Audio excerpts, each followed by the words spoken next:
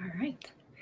Well, good evening, everyone, and thank you for joining us for our third installment of the Lincoln Fellowship of Pennsylvania's Conversations with a Lincoln Scholar.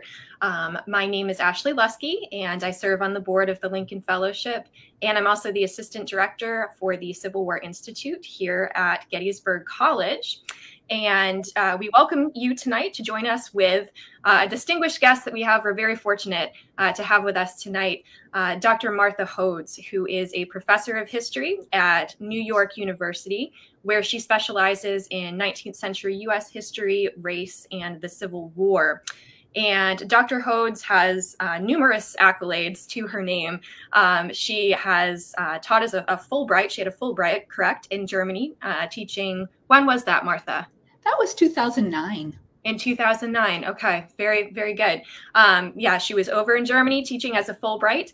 Um, and then she's been awarded numerous fellowships after that from multiple distinguished institutions uh, across the country.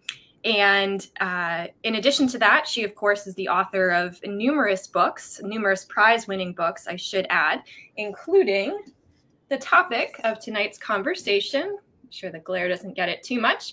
This is Mourning Lincoln, which was the 2016 recipient of the Distinguished Gilder Lehrman Lincoln Prize. And in fact, I think that's where I first saw you in person, Martha, was up in New York City when you were um, giving your, your acceptance um, lecture about this. Uh, and that was uh, it was quite an experience. Um, so she has that prize under her belt as well as numerous other prizes for other work as well. Um, she is also, in addition to specializing in teaching about race in 19th century history and Civil War, uh, she's also taught a wide array of courses about the craft of writing history, which is something that I'd like to get into uh, asking her a little bit about here in just a couple of minutes. And when you go through her book and you read Mourning Lincoln, uh, you definitely understand why she teaches these courses um, as if she doesn't have enough on her plate already, teaching at NYU and giving public presentations all across the country and even internationally, even as far away as Australia, right? That's probably the furthest that you've gone. Um, she also uh, is currently serving as the interim director at the Cullman Center for Scholars and Writers at the New York Public Library. And she is there for two years. This is the first of her two years. So she has a lot of stuff going on um, and a lot of accolades, as I said, to her name. She's also won a Distinguished Teaching Award for her teaching skills. Um, she was winner, in fact, of the NYU Golden Dozen Teaching Award. And when was that, Martha, that you received oh, that? Oh, gosh, that I'm not sure. That was probably sometime in the last 10 years. Okay. Okay. Wonderful. Um, so very, very accomplished, very distinguished scholar. Um, we're very fortunate, Martha, to have you here tonight. I know your schedule is extremely busy, um, but we're very thankful to have you here talking about uh, Mourning Lincoln. Um, I think I'd like to start off by asking you a little bit about your work as the interim director of the Cullman Center. One of the great things about Mourning Lincoln is that it is a fascinating read. It makes a significant historiographical contribution, but it's also accessible to the public, which in the world of academia, that's not always the case. It's a difficult thing to do. Uh, and mastering the art of historical writing to make a sophisticated historical argument that's also accessible to the public, that takes a lot of skill. And so I'm curious, Martha, as interim director of the Cullman Center, mm-hmm. first of all, what are kind of some of your main duties? What does the center do? And what are your responsibilities in that regard? Sure. Uh, first of all, thank you so much, Ashley. I'm so happy to be here and thank you for all your kind, words. And I'm very happy to talk to a, a, Lincoln Fellowship audience. The Cullman Center is such a wonderful place. It's um, it's called the Center for Scholars and Writers, and it really is um, both scholars and writers. And of course, the scholars who are fellows there also care a great deal about writing. So it's um, a place where 15 fellows are selected every year um, novelists, nonfiction writers, academics, journalists, um, translators, visual artists. And each fellow comes for an academic year, September through May, and each fellow has a beautiful office in the beautiful Cullman Center, which is in the beautiful and majestic 42nd Street branch of the New York Public Library. And as interim director, um, the kind of word on the street is that my main job is to keep the fellows happy. And I was a fellow there a few years ago and I was very happy. So I am striving to replicate that for the fellows who are here this year and who will be there next year. And it's really a remarkable, wonderful group of people. And I'm, I feel so lucky and happy to be able to go into the library, the New York Public Library every day and, um, and foster that kind of creativity and research. Sure. Now, what exactly goes into making the fellows happy? Well, you know, part of the fellowship is about research. And so not just the scholars, the historians, but even the novelists and the poets, I should also say there are poets, um, are there to use the resources of the New York Public Library, which of course are astounding resources. And so part of making fellows and writers and scholars happy is making sure they have access to those incredible resources. Um, it's a very um, luxurious situation where you can order the books that you want to look at um, electronically and then they're delivered to the center um, and just you know to, to foster a community which of course the fellows do quite a bit on their own but uh, and of course we do have the challenge of covid. We do have um, mask mandates. And so um, we don't have quite the freedom of the pre-covid fellows to mingle together in the center but it, it's not bad. Um, it's not bad at all. People people do wear masks and talk and converse and go outside. Um, there's a beautiful Bryant Park outside the library, so we do talk about our work and um, match up all kinds of skills and ideas and inspirations. So it's really it's it's That's really great. a wonderful place. That's great. Yeah, to have that camaraderie and that cordial relationship with other people who are doing similar projects and even very different projects, I, I assume is very uh, important and educational and enriching to the fellows. So, uh, kind of a, a follow up question on that, uh, which might lead us into more of your work. Um, as someone who teaches, classes about the craft of historical writing and as someone who is now this interim director of a center that focuses on research and writing skills what do you think are some of the the keys to to combining those two things which again as i said sometimes they don't always match up especially in mm-hmm. academic writing making an important sophisticated historiographical intervention or argument and still making it accessible to the public where you're not going so far over their head but you're not babying them either because we obviously the public is ready and willing to, to take on difficult arguments and complex subjects so what to you are some of the keys that you you emphasize in your teaching yeah, I think one of the things, and I also, um, this is really important for my graduate students who, who want to go on to become historians. I always use the phrase a story with an argument. So the argument really does matter to us as scholars. An argument meaning, usually, what I tell my students is the best arguments answer why questions. Why did something happen? And if you, and those are hard questions why questions are the hardest questions a historian can answer. So you can also ask how questions. How did something happen? And then the key to telling a story is narrative and a narrative arc, which academics don't always think about. And if possible, strong characters. Now, some of the best history books in the world don't have a lot of characters, they might be about ideas.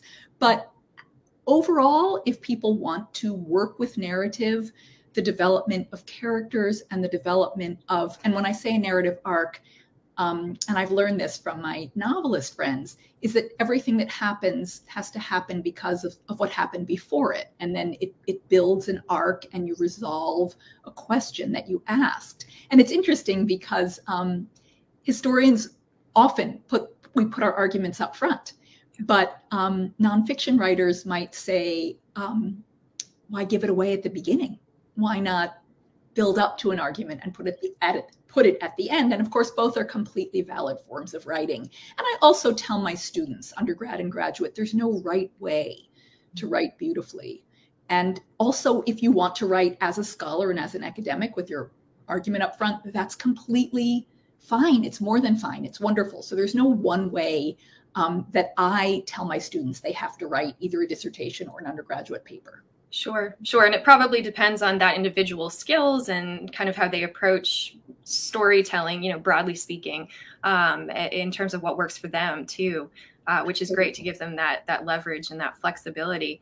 Um, you know, one of the great things about your book about Mourning Lincoln is that you do populate it with specific characters who kind of provide a a micro history or kind of a micro lens into the experiences of very different reactions to Lincoln's assassination and different takes on mourning. And so you are populating it with characters, you're humanizing uh, uh, the the event and the aftermath as well, but with a lot of complexity, with a lot of other characters interwoven, while still featuring uh, those two two main families that you talk about, um, the Dormans and the Browns.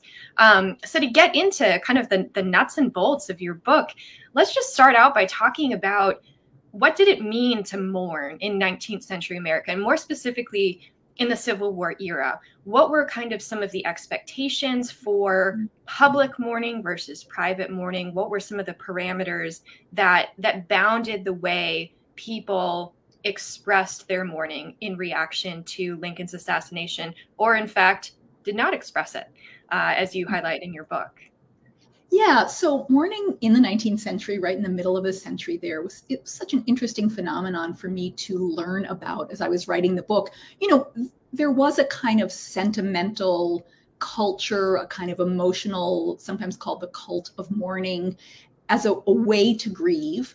Um, there was also a strong current of obeying the will of God um, and um, reconciling oneself to and I should say that in, 19, in 1865, America was a very religious culture, predominantly Christian. So, this sense of obedience to God's will and also reconciling oneself to the mysteries of God's plan for your own life or for the nation. There was also a really interesting strain that um, heaven was a beautiful place just above the clouds where people were reunited with loved ones.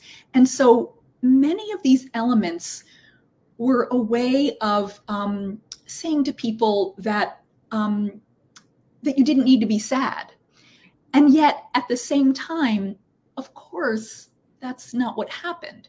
So even though people did strive very hard and often did reconcile themselves to the will of God and did believe in a beautiful afterlife, they still, I found, this was about Lincoln, but also about personal losses, um, they still suffered terribly. And they still asked, they asked God, why? Why did you take this person away? Um, and all of those strains I thought were so very interesting um, the way they were mixed up together. There was also, I'll just say one more thing about um, a time element so that you were only supposed to mourn for a certain amount of time. And I bring this up because one of the reasons that Mary Lincoln, the widow of President Lincoln, was criticized often so heavily was because she mourned for so long, not just for her husband, but she also lost children. And she was criticized for that in a way that I think modern readers find um, almost inexplicable. Right, right. And that I think that also has to do with something that you touched on early on in your book about kind of the transformation that people go through between the early 19th century and then the mid 19th century, and uh, particularly in response to the Civil War. Where in the early 19th century, um, notions of mourning they're supposed to be contained you're not supposed to have a public outburst of emotion you're supposed to have that facade and be stoic and be martial or be you know even if you're a woman to, to rein it in a little bit and then the civil war comes along and just you know uproots um, uh, upends people's understandings of death and mourning and suffering and they have to kind of reconcile themselves to that. As drew gilpin faust you know talks about so much in, in her excellent work with this republic of suffering. Um, but during the, the mid 19th century anyhow there's this rise in that sentimentalism that you're talking about where people feel more free or more released to express their emotions. Now, that's not to say that people just walk around, of course, with their heart on their sleeve, but they feel more able to express those emotions in public, um, which you identify with a lot of the mourners um, in, in Lincoln's case. Um, what were some of the ways that people expressed themselves or felt like they were allowed or encouraged to express their mourning and their sadness after the assassination? Yeah, I mean, so first, I just want to say, of course, that the scale of death in the Civil War was so much greater than anything that had happened. The number that historians give now is about um, between 720 and 750,000. And so, just to put that in perspective, um, in terms of percentage of the population, it was about 2% of the population. Yeah. And if that were the case today in the United States, that would be 7 million yeah. lives lost.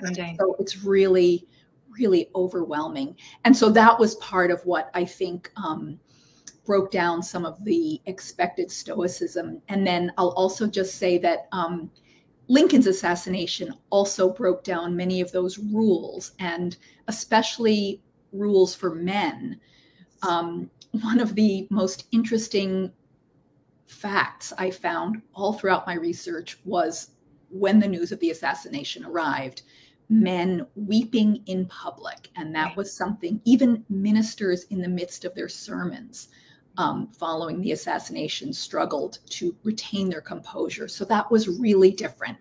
Um, then, really different from what had come before. And then, just to respond to your question about how did people mourn, wow. Um, so we have to remember, of course, that that one of the main ways people got the news was from other people. So um, one of the most interesting, or another one of the most interesting things I found was that, of course, today, if we hear something like this, we all turn to social media. And before social media, for example, 9 11, we all flipped on the right. television set. And so, what people did when the news came, if the newspaper arrived at your door or um, somebody knocked on your door and told you about the assassination early the mor- on the morning of Saturday, April 15th, 1865, you went outside and you found other people who were also walking around outside and you looked into one another's faces because that was how you verified that it happened. Were other people weeping? Were other people looking stricken? Were other people looking horrified? And that's how you knew this was something that had actually happened. So, walking the streets, looking into faces, people also dealt with their grief by recording what had mm-hmm. happened. And of course, that's wonderful for historians. So, people recorded in journals, letters, and all levels of literacy, I should say, not just the most literate classes, but um, working class people, the barely literate, um, enslaved people or formerly enslaved people um, as much as they could read or write, or sometimes people in conversation with enslaved people wrote down what those people said or thought. Um, so, recording the facts, and also um, another way that people dealt with their grief was through the collection of relics, mm-hmm. um, mourning ribbons or badges that people would wear um, with likenesses of Lincoln and you know statements saying something like "a nation mourns." Um, people collected photographs of Lincoln, whether you know a five cent postcard or an expensive framed portrait. Um, people wrote signs and put them in shop windows, hand lettered, expressing themselves. Um, and of course, Lincoln was shot on Good Friday, right. and he died the next morning. And then, of course, that Sunday was Easter Sunday. And that was an enormous outpouring of mourning um, in churches. That was a way that people also dealt with their grief. They went to church. Of course, ministers had to throw out their joyous Easter Sunday sermons right. and rewrite those sermons for the assassination. And I think people went to church looking for answers from their ministers. Sometimes they found them, but people also wrote in their journals um, that they still remained mystified as to God's plan for the nation, yeah. as to why Lincoln was taken. At this moment, of course, there had just been the victory of the Union in the Civil War. So it was a very puzzling moment. Sure, sure. And of course, you talk about with the funeral train um, going from city to city and all of these people turning out. Um, can you talk a little bit about that? What the, what this spectacle was like to see all of these people come out to just get the tiniest, shortest glimpse of the train, you know, rolling through, or if it made a stop in your town, what that experience was like. Yeah, the funeral and the funeral train was amazing. So first of all, people put on local funerals in their own towns and villages all over the place. So that happened. The main Washington, D.C. funeral was April 19th. And after that funeral, which was an enormous affair, was the funeral train in which Lincoln's body traveled um, from Washington all the way to Springfield, Illinois, stopping at 11 different cities. Um, I think most people think we imagine it was one single train um, moving Lincoln's body from Washington to Springfield, but actually in those days, railroad gauges differed from one place to another. And so the funeral train um, was actually many different trains. But in any case, what you talked about, Ashley, just there was really important. The trains stopped at the major cities, the 11 major cities, but in between was really where I found the most um, moving descriptions so the railroads published these very detailed schedules saying, you know, it might give the name of a village somewhere and say something like, you know, 2:53 a.m. the train will be passing by, it's middle of the night. Um, and then what would happen is people would gather by the railroad tracks. Um, sometimes the train would slow down, sometimes it would just pass by, sometimes it might stop for just a moment. Um, but families traveled to these spots with their children. It could be the middle of the night, could be pouring rain, you could be sloshing through the springtime mud. Um, people lifted their ch- children up onto their shoulders. Mm-hmm. Um, people felt they were participating in history. Um, you know, there are all kinds of wonderful descriptions of the hems of women's dresses becoming completely muddied, um, waking up children in the middle of the night to be part of this, just to watch the train go by. So you're not even getting a glimpse of Lincoln's body. Then, of course, when the train did stop, in cities and the body was removed and people filed past it. Um, that was another. Um, I mean, it was very majestic in a way, but what was so fascinating to me is when you read the personal descriptions of what's going on in these cities during Lincoln's funeral. I mean, there are pickpockets and women are being groped, and people say, Oh, I was hurried past the casket. I didn't have a chance to see Mr. Lincoln. Or people say things like, You know, by the time the funeral train and Lincoln's body is approaching Springfield, Illinois, people say things like, oh, his face looked so gray and sunken and it was so majestic. And some people say, oh, I'm glad I didn't go see the body because I heard it didn't look like Mr. Lincoln. You know, so there's, it, it wasn't right. all beauty and majesty. Yeah. There was also dissatisfaction. It was too crowded. I couldn't get close enough. I couldn't hear the band. They weren't playing loud enough. Right. So it's just, it's so human. And that's what I loved about reading yes. the descriptions of the funeral. Yes, no, I love those stories. Finding out about the pickpockets and you know being jostled to the side and not appreciating, uh, you know, everyone being there, trying to get that glimpse and being respectful of other people.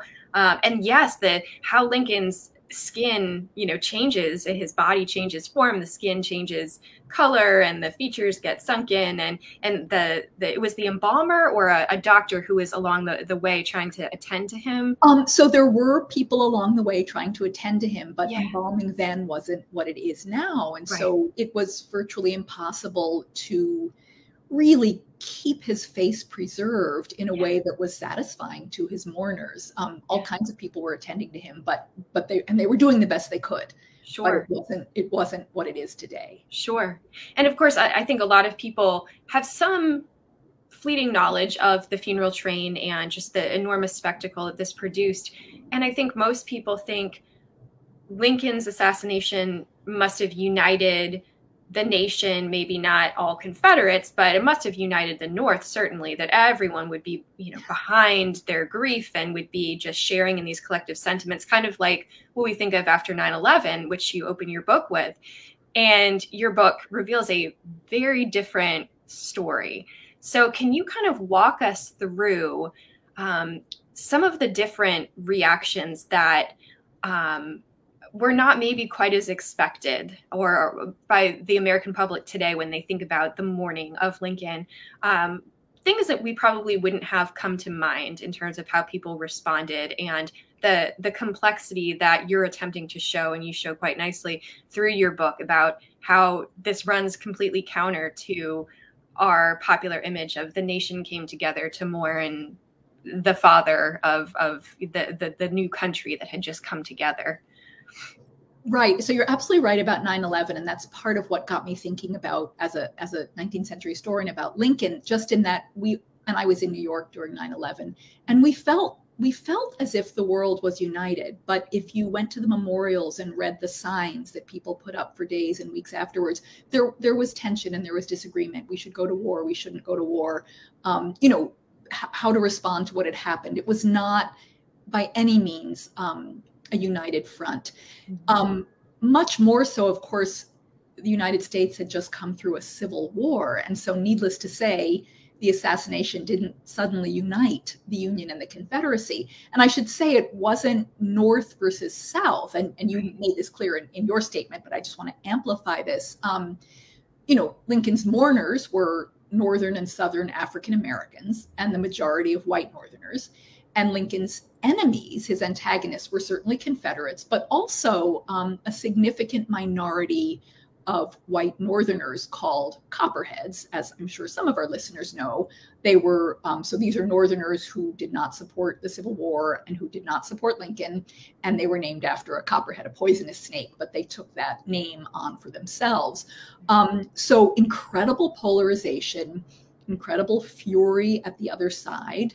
Um, and I had mentioned earlier those badges, you know, where they which would say things like "the nation's loss" uh, or "the nation is weeping," and actually that wasn't true. The nation isn't correct, even if you're just talking about the Union or the North, because there was so much tension and so much anger. And for Confederates, wow, I mean, it was so fascinating to read these kinds of sources Confederates often responded to the assassination with glee, and that's the name of, of one of my chapters. And so they were they were thrilled at the news. They were happy. They were laughing. They were um, mocking the Union. Now um, that didn't last long, in that they, of course, had still lost the war. But for Confederates, the tragedy was not the assassination. The tragedy remained surrender and losing the war. That was the tragedy for Confederates. And so for them, there was a momentary feeling of, um, of vengeance against their enemies and their conquerors. Um, but the palpable, both glee and fury, was ran, I should say, ran through the sources so um, so dramatically. It was really, it was really quite quite amazing. Right. Um, and I should just say that um, Lincoln's mourners blamed Confederates. They blamed John Wilkes Booth, the assassin. They blamed the Confederate leadership. Um, and they also blamed the institution of slavery. Many, many people, and this is before Easter Sunday sermons when ministers might have made this statement, people said it is slavery that killed Lincoln, which I thought was so fascinating. Right, right. Yeah, I, I did too. Um, now, for those those Confederates or former Confederates who have this glee, there are certain boundaries in certain areas where they're allowed to express it and where they're uh, forcibly coerced into either silence or coerced into um, perhaps fake mourning.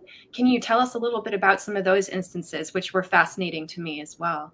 Yes, absolutely. So, of course, much of the Confederacy by the end of the war was occupied by Union forces, which means that um, Northern soldiers and sometimes African American soldiers were occupying these towns and cities. And um, there was a great deal of tension between Confederates and the Union occupying forces. Um, so, for example, um, oh, I guess, you know, like a woman in New Orleans made a really fascinating statement in her diary where she said something like, um, uh, it's I won't get the exact quotation, but the spirit of the quotation was something like the more we hated Lincoln, the more we decorated our windows with mourning drapes. So in other words, it was a way of saying, you know, we despised him, we were happy he was assassinated, but we can't show that because the city of New Orleans was occupied by Union forces. And so what they would do is they would put out what was called crepe, spelled C-R-A-P-E, mourning crepe, meaning um, black bunting, and they would display mourning bunting, even though they were glad that Lincoln had been murdered. Hmm. Um, there were also confrontations. Um, there were confrontations between Black soldiers and Confederates, and often the Black men suffered in those confrontations. Um, so, Confederates, some Confederates wrote in their diaries, um, you know, I just stayed inside because I, I was afraid to go outside. Even if you weren't acting gleeful, Confederates feared that Lincoln's mourners would turn on them just for being Confederates. So, again, a lot of not just tension, but also violence and conflict over the assassination, a far cry from a nation in mourning. And, and the last thing I'll say about this is what's so fascinating is that Lincoln's mourners, they write in their diaries and letters things like the whole nation, uh, the whole nation is mourning. We no longer know north nor south. We're all weeping for lincoln. And it, it just wasn't true. And they knew it wasn't true.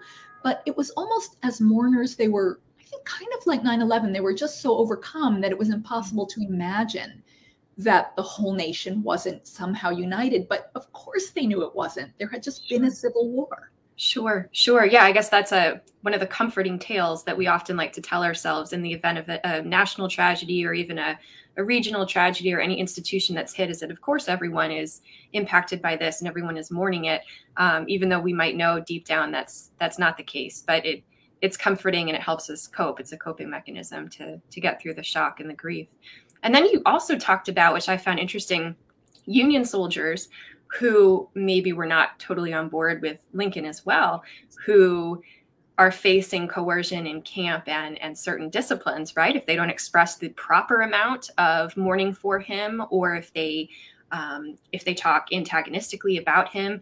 Now, some manage to flout those rules and somehow get away with it, uh, which is amazing to me, especially that males could do that. Women, of course, always have a little bit more flexibility, Confederate women, just because they're not regarded as political actors. Um, but white soldiers in the Union Army who are making these statements, um, and some of them are punished, but some of them do get get away with it, um, which is is interesting. Yeah, I mean, actually, in terms of soldiers being punished for it, and these are white soldiers in the Union Army, as you said. Um, and some of them would be considered copperheads and they had been drafted um, right. Into the union army and they were not happy about fighting a war that had become a war for slavery um, a war for and against slavery i should say and so the most interesting records were these trials of yes. northern white soldiers who were brought up on charges of treason for the kinds of things they said and so the testimony this is these documents are in the national archives are so fascinating because um, they the the authorities call fellow Union soldiers to testify. And the testimony, their stories, you know, their stories about, oh, you know, all the men were sitting around the campfire or we were washing up at the stream after dinner and then the news arrived and we were all saddened and shocked. And then so and so, you know, and they'll name one of their fellow soldiers, um, you know, said something like, you know, and then they'll give the dialogue. It'll be something like, you know, serves him right or you know good thing this ha- i've been waiting for this moment you know something that was considered very um very disrespectful for the people who were in shock and in grief and mourning lincoln. And so um, there was also not just tension but violence between the mourners and the antagonists.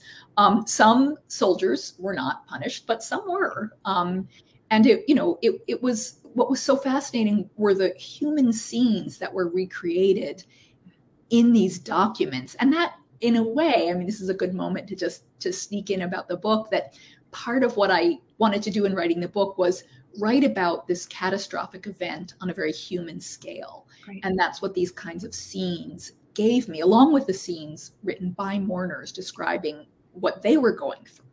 Right right.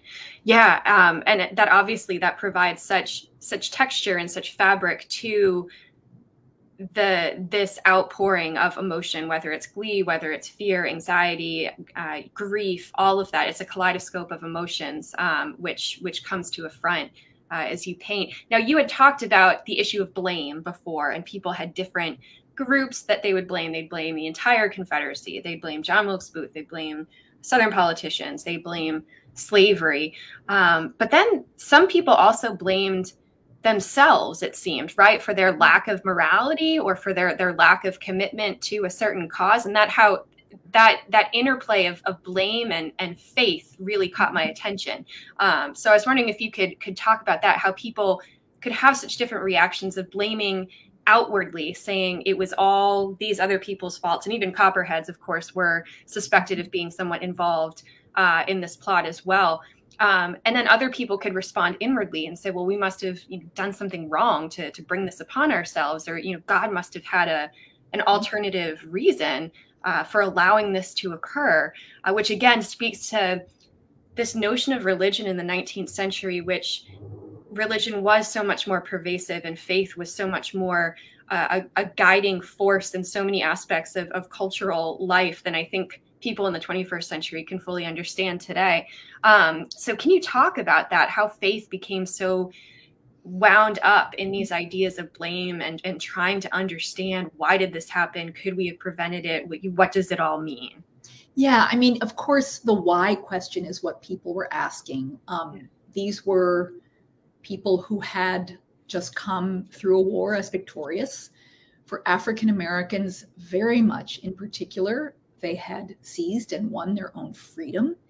Um, and this this idea that God would take away Lincoln at this moment was so puzzling to so many people. And as I said earlier, people tried so hard, and you can see this in their personal writings. They they so wanted to be able to reconcile themselves to God's mysterious ways, but um, it was so people found it so difficult not to ask that question. And African Americans also, along with shock and grief, experienced, um, and white people did too, but African Americans far, far more. Um, you mentioned the word anxiety, and that's exactly right. Um, there's a, a, wonderful, or a, I mean, a, a heart wrenching, but but very, um, very rich scene that I found in which um, somebody describes a six year old African American boy um, hearing the grown-ups around him talking and then saying does this mean we will have to be slaves again? And he you know maybe he heard grown-ups saying that but but very serious anxiety and especially especially you know for african americans or for for their white allies abolitionists who believed very strongly that um, so first of all i should say everybody believed that god had a hand in the war and who won the war. So of course if you win the war um, the idea is that you know this was God's plan all along, and of course we were going to win because our side was righteous. Mm-hmm. So Confederates are in a crisis of faith because they believed just as strongly during the war that God would um, have them win the war, and that was not what had happened. And that's I think one of the reasons that Confederates felt that moment of glee or vengeance upon the assassination of President Lincoln.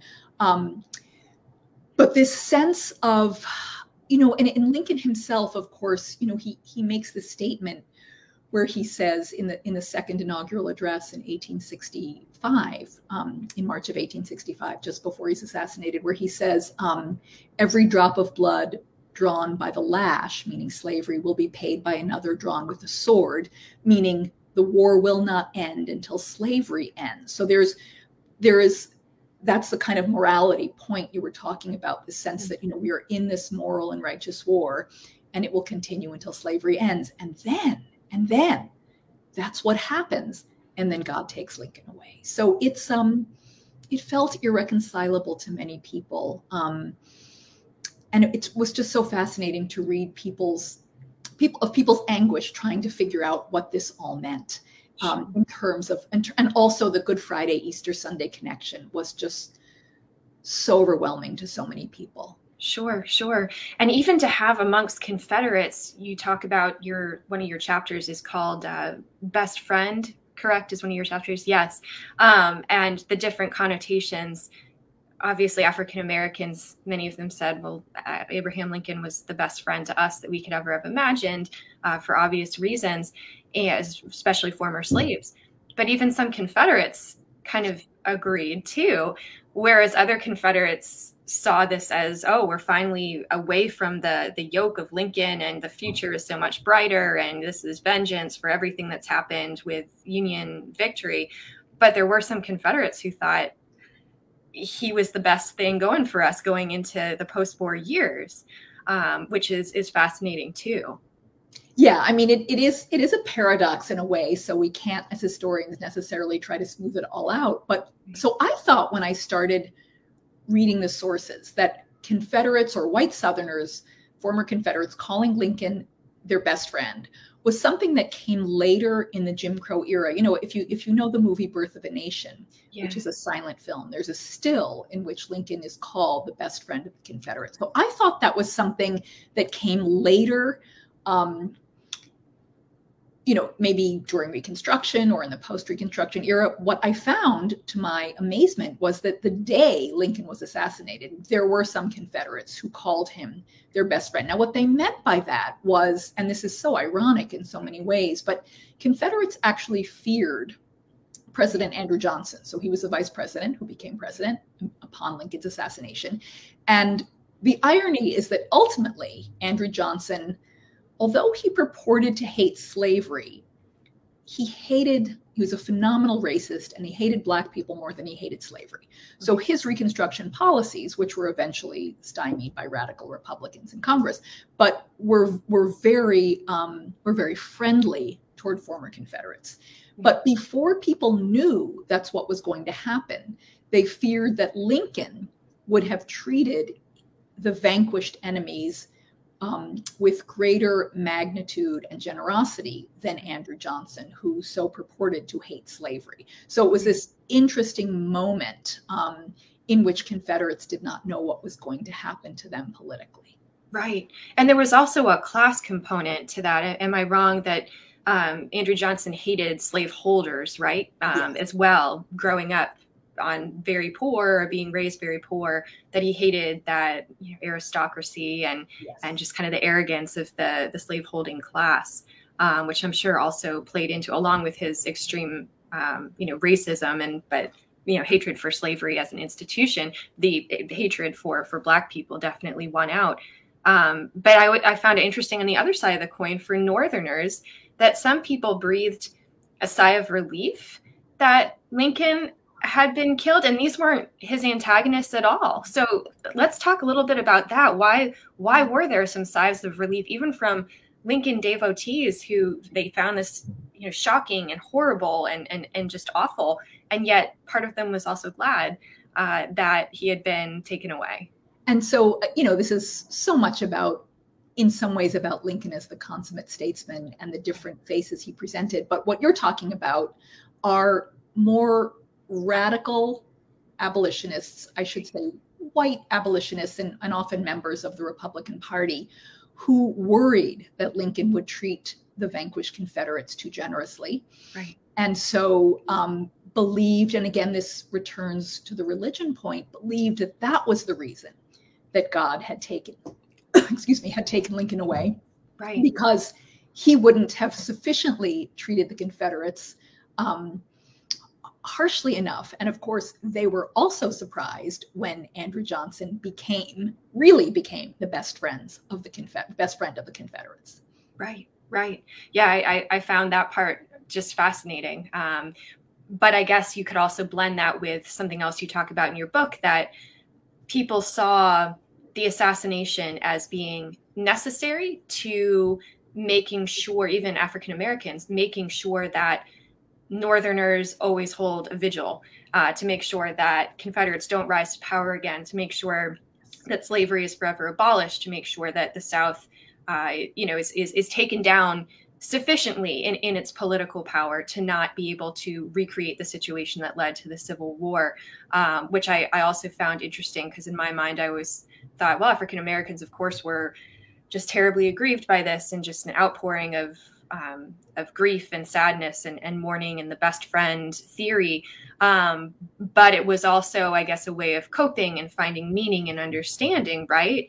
That this had to happen for a reason in order to warn people that the fight's not over, that Lincoln is a martyr, he stands for this cause, that we have to be vigilant, vigilant about protecting this victory uh, in order to make sure that the victory is is permanent.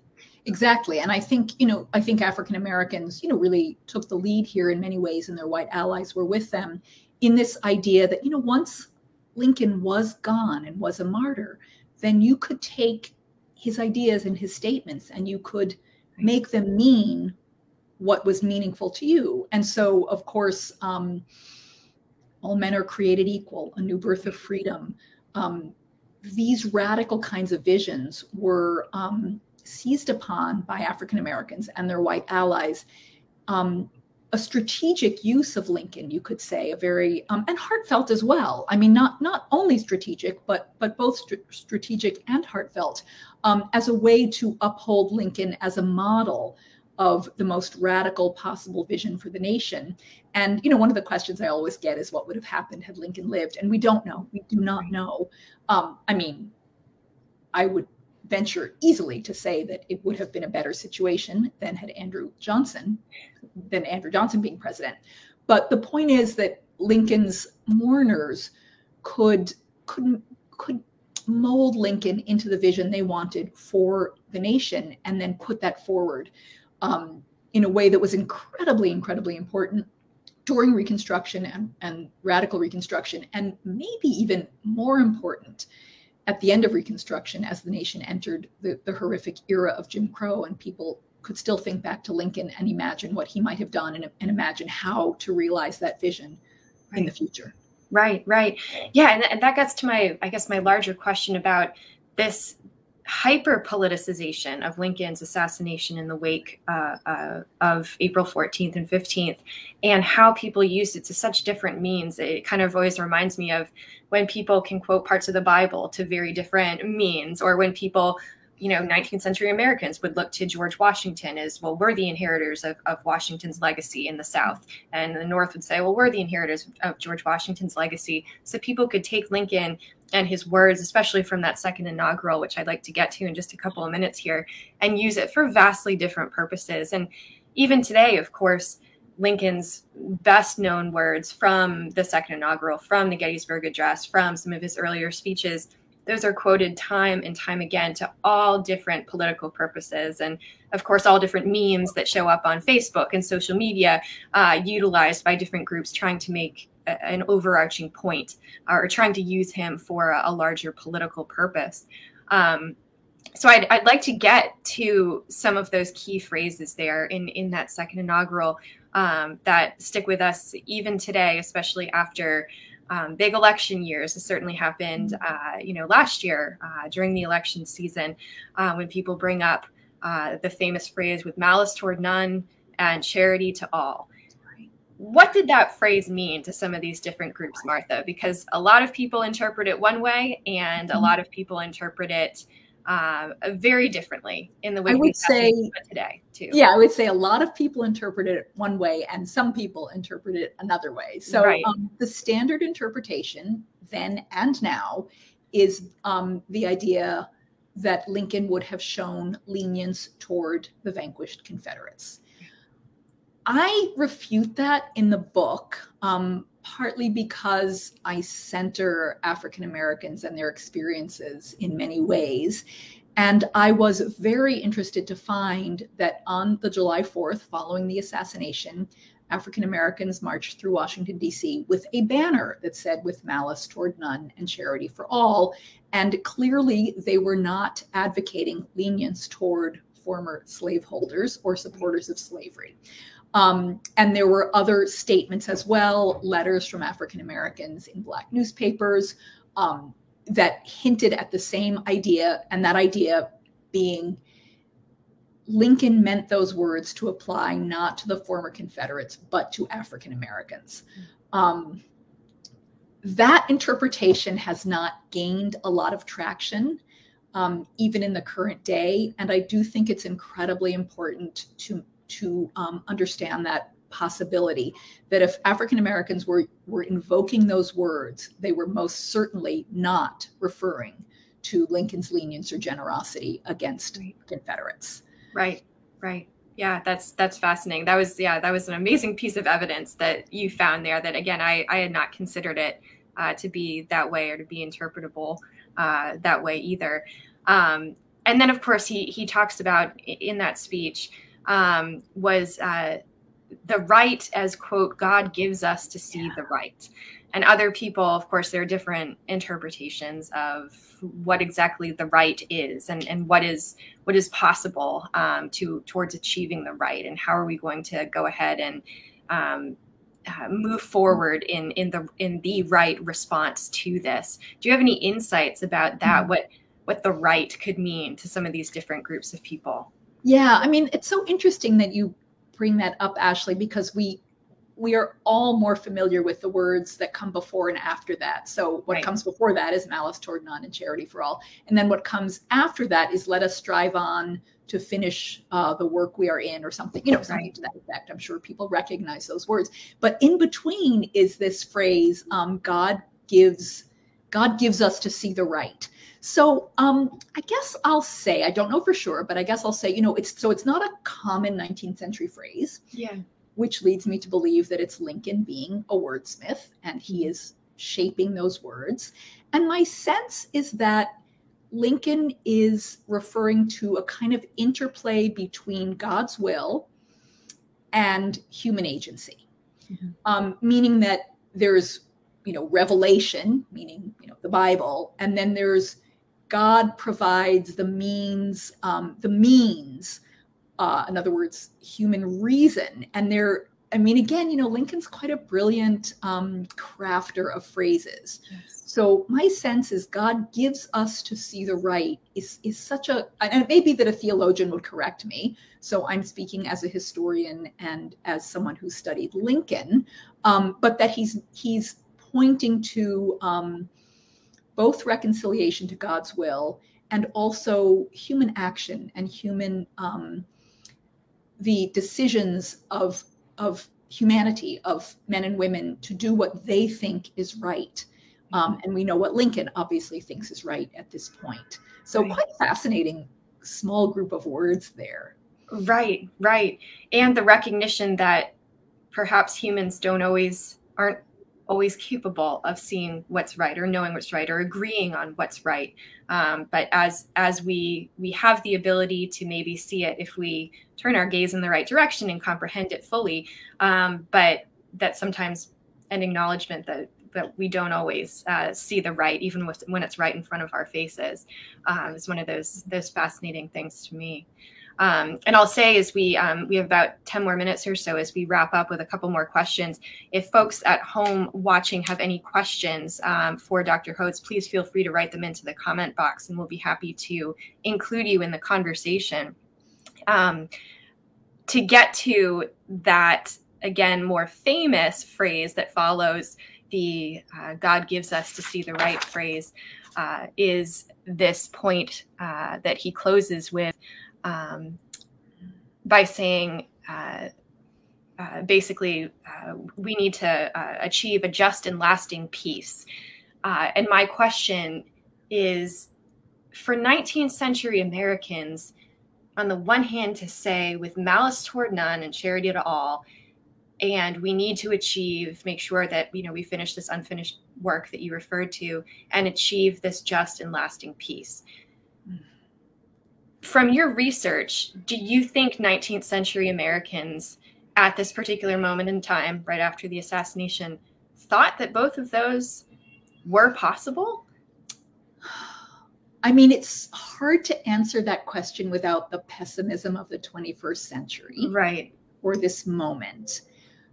I think people were inspired by Lincoln's words when he was reelected as the war, you know, as the Union was winning the war. So we have to remember that moment. The inaugural, the inaugurations in, in 1865 took place in March, not in January as they do now.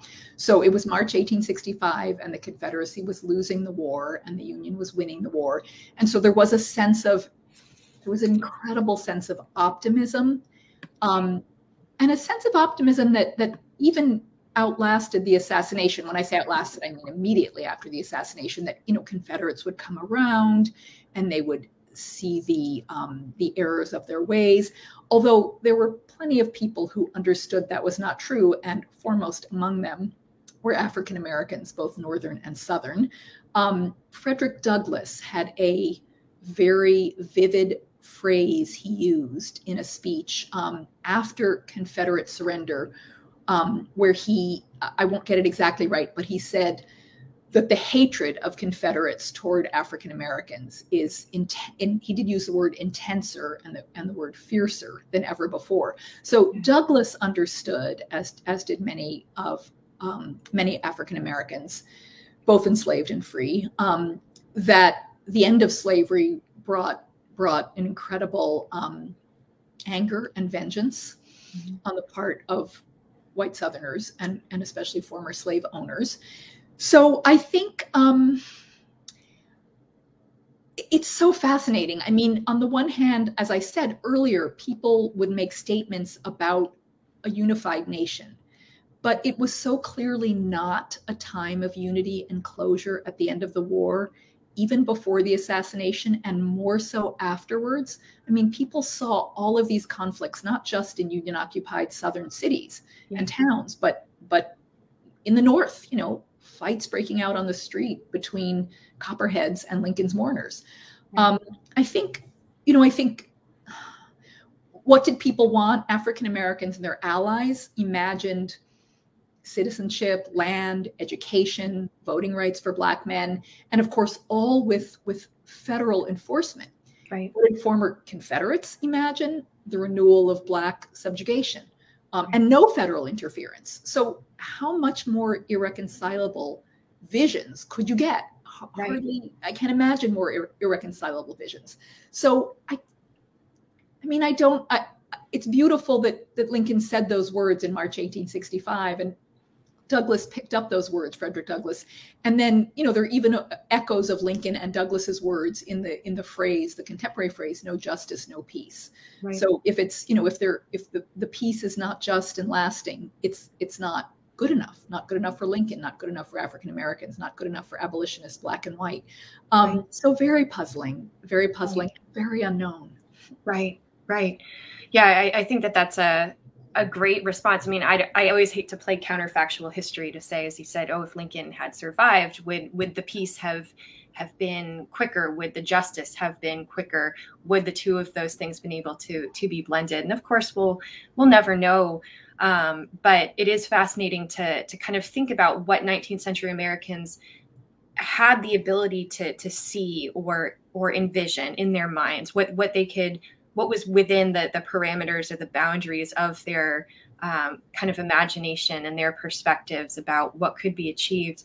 We all know, of course, that slavery is is the issue that pushes the nation into the Civil War, but it's the issue of union that most Northern soldiers are fighting for. Um, as you know, Gal- Gary Gallagher and, and, others have written about extensively in the past several years. Um, and so there is this conundrum: is that how do you bring a nation back together, especially after not only this this major um, you know victory of one huge army over another, but then the assassination uh, of the leader of of that victorious um, uh, group of individuals. Um, how do you bring those people back together? Is that going to be your first goal, and then you put the the justice part or the full justice behind it? Can you tackle those parts at once? And again, we'll never know exactly how Lincoln would have approached this.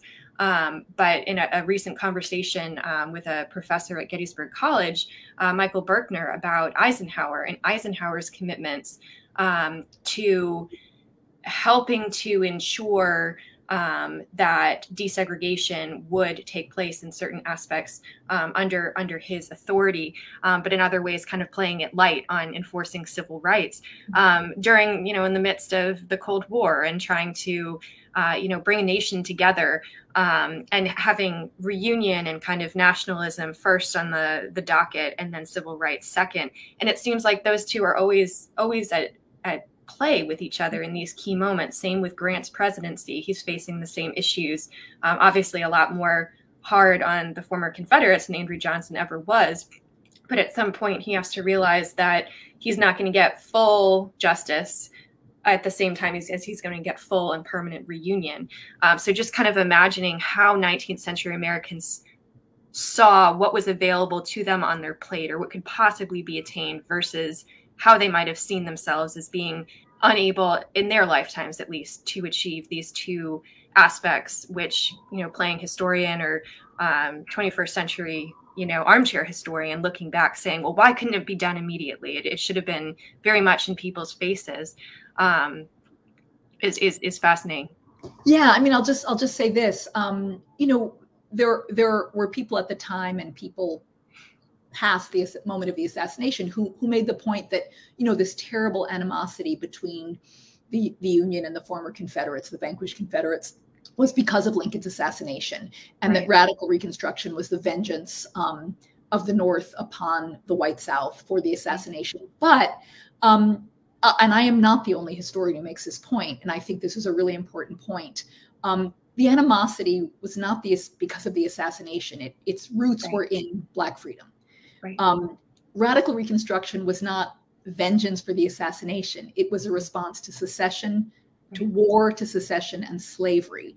And of course, um, the ultimate avengers were not the radical Republicans who championed Black equality and the suffrage for Black men. The ultimate avengers were, were the former Confederates in the era of Jim Crow. Right. So Lincoln's mourners were not the Avengers. Lincoln's antagonists ended up being the Avengers. And I think right. that's really important to, to, to see and understand in that light. Right, right. Absolutely. Um, we have a, a, question from someone about Robert and his role during mm-hmm. the mourning process. Um, obviously, we know Mary Lincoln was overcome with grief um, throughout the entire time period and long afterward. Um, and so, Robert, as the, the eldest son, um, what is his role throughout all of this?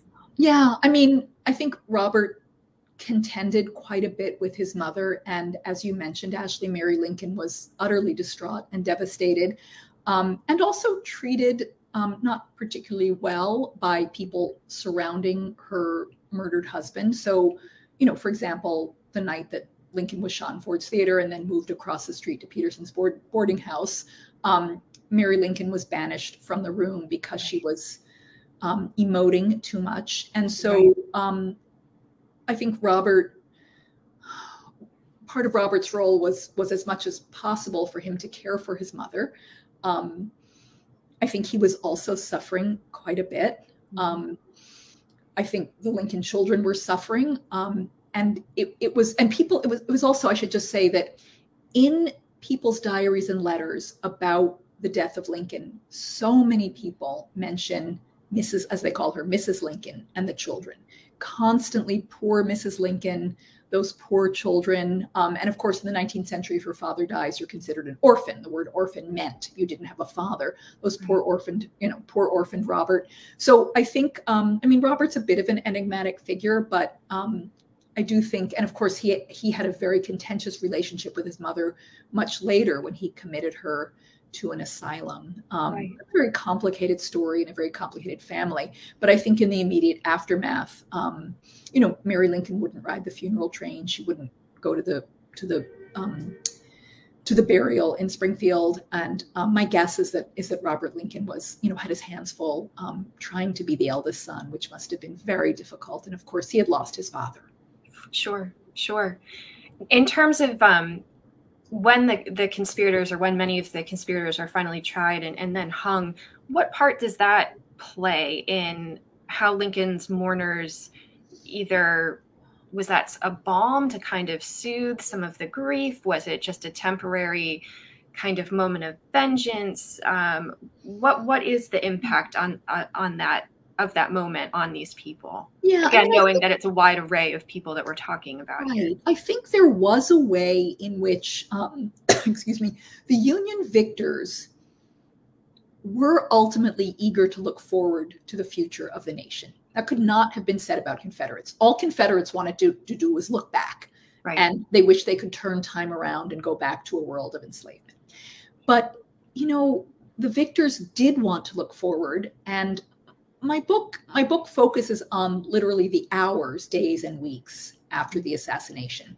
And it ends at this moment um, where the conspirators are tried and um, you know it's a public spectacle. And i do feel like people were ready to move forward. So if if you were mourning lincoln and you were um, responding to the end of the institution of slavery then you you wanted the nation to heal and you wanted to go forward. And so there was a way in which that was a marker for many of the mourners which of course was not true for lincoln's family just to bring it back to mary and robert um, once again but it was true. So i'll just say one thing here. It, that was a marker for getting past the assassination but we can't forget that every family knew someone who had died in the Civil War. If it wasn't your own father, brother, um, or son, it was a neighbor or a close friend or cousin. And so those were the deaths people did not get over. Um, those were the really intimate personal losses. But there was a way in which, although people thought of Lincoln as a father, he was a public figure. And there was a moment in in which people were willing and wanted to, and it sounds terrible to say this, but but put it behind them and move the yeah. nation forward with Union victory. Yeah, yeah, and that reminds me of another question I, I had wanted to ask you, particularly about the the Brown family from Salem, uh, Massachusetts, and the death of Nellie Brown, which occurs is that 1864 is when that's right she mm-hmm. passes, mm-hmm. um, and that's that's one of the daughters uh, uh, in the the family, one of the two families that um, Martha talks about in her book. And you talk about how um, in the years that follow, uh, Nellie's mom always marks, she pauses on the anniversary of her daughter's death and she remarks on it. She reflects on it, and that's not necessarily the case with with Lincoln's assassination, at least for her, because she has this other more intimate um, death anniversary that she feels compelled to mark.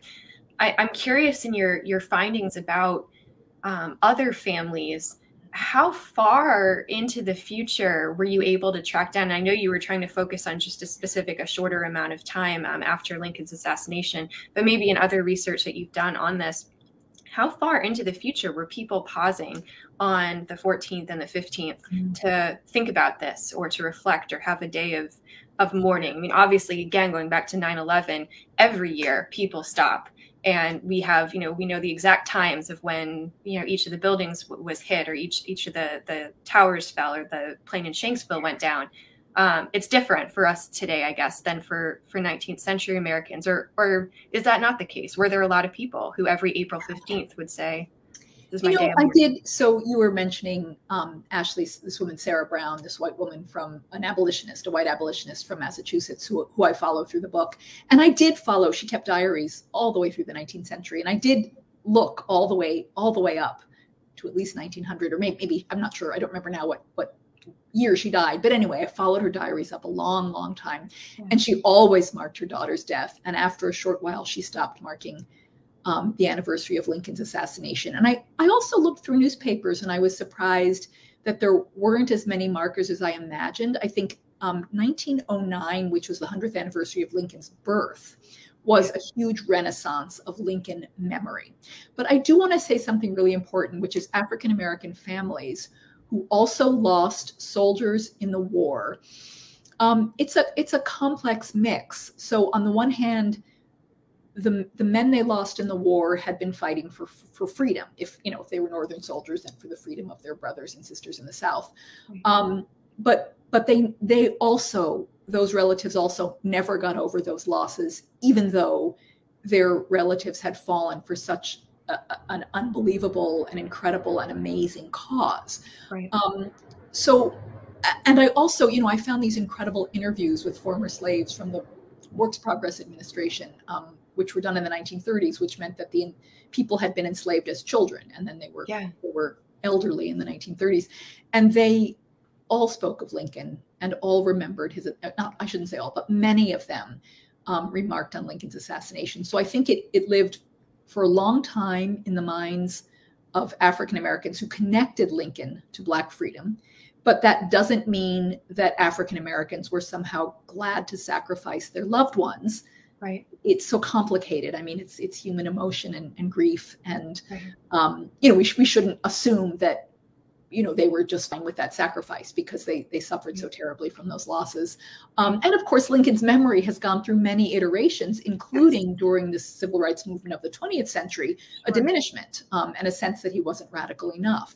Right. Um, and and those you know those kinds of um, and of course now there has been there has been um, some protesters who have wanted to remove the Lincoln Memorial in Washington D.C. because it's a statue of Lincoln with a kneeling slave, um, who a man whose chains are broken, and you know he's gazing off into the distance. He's not gazing adoringly at Lincoln. And both, uh, I mean, African American scholars and white scholars have been on both sides and said, no, don't, you know, let's not forget that it was African Americans who funded that statue, that memorial, and who celebrated that memorial when it was unveiled in in um, 1865. So, or I'm sorry, in 1876, and Frederick Douglass gave an incredible speech at that unveiling, and this is actually a perfect ending, yeah. um, in which Douglass, and of course he would be the one to do it because he was so brilliant. Um, he gave the most nuanced um, memorial to Lincoln, and one that we can still live by today, where he made very clear that um, Lincoln was what he called the white man's president. And then Douglass goes back and says, you know, in the context of the time in which Lincoln lived, his death was a calamity for African American people. And he also, you know, makes very clear that Lincoln was um, deeply dedicated to Black freedom. So he was both. He was not radical enough, and he was incredibly radical for the time in which he lived. And it, you know, Douglass's assessment still stands so um, so resolutely and so beautifully. Yeah, Yeah, no, that is that is a perfect way to wrap up because you're highlighting, of course, the various dimensions of Lincoln himself, um, which brings us back to again this just this kaleidoscope of people and communities that you're bringing into conversation um, about the topic of Lincoln's assassination.